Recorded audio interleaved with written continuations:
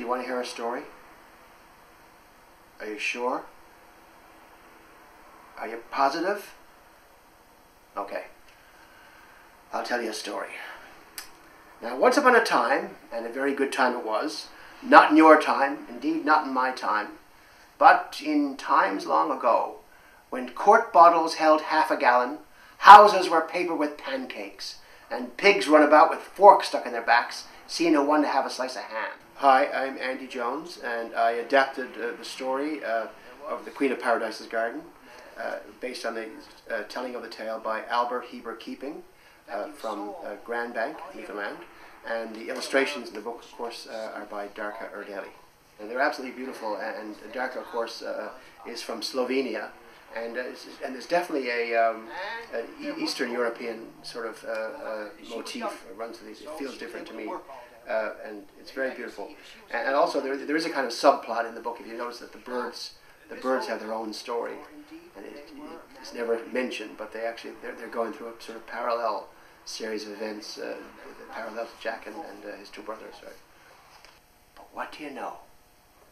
One day, the old lady she was out working in the fields, and she felt a bit funny.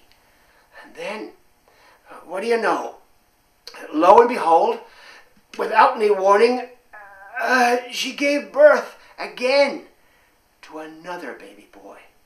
And she called him Jack. And Jack, he was two days late for everything for the rest of his life. He seems to be the, hero of lots and lots of stories. He's the guy who goes on the journey. Uh, and it's, it's obviously the same, uh, you know, kind of generic character as Jack and the Beanstalk. And he's usually, he's the, the, uh, the least ambitious of the, of the children. Uh, and sometimes he's not all that bright, and he's like kind of tends up. He often ends up sort of laying around the coal box and, and not doing anything. But then he eventually ends up being the, the hero of the story. Old blind Pew said to them, he said, "Well, it's too bad you couldn't find the magic fruit that makes the old young again." That only grows in the Queen of Paradise's garden, which is three miles this side of the end of the world. Baskets, baskets, baskets for sale. And the boys looked at each other and said, Three miles this side of the end of the world? We better get going. These stories were not actually told to children originally, they were adults, and kids often hung around and listened, but really they were for adults. But the way we've done it, like we, we've adapted it, so I think it's for all ages. But the interesting thing about this book is that I think like kids who are three seem to really, really enjoy. Like you know, three and up to even that age can get it. Um, I know. I just read the book in uh, uh, in Halifax at a bookstore there, and there was a little girl who was three years old, and she was like totally fascinated. And when I when I finished, she reached behind her uh, on the shelf and she took another book down, and she handed me and said, "Now read this book."